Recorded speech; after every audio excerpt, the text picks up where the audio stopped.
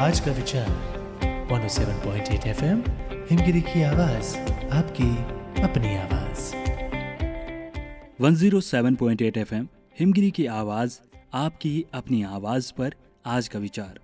चिंता करने से आपकी समस्याओं का समाधान नहीं होता है। यह सिर्फ़ आपका समय और ऊर्जा बर्बाद करता है। चलिए एक कहानी के ज़रिए समझते हैं।